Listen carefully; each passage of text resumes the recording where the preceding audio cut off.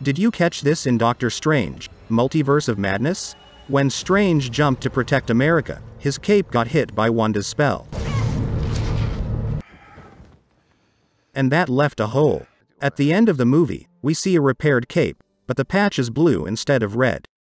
Back when America and Christine were running from Scarlet Witch, they met up with Strange, and his cape came flying in. America noted. She fixed him. Thank you. Yeah.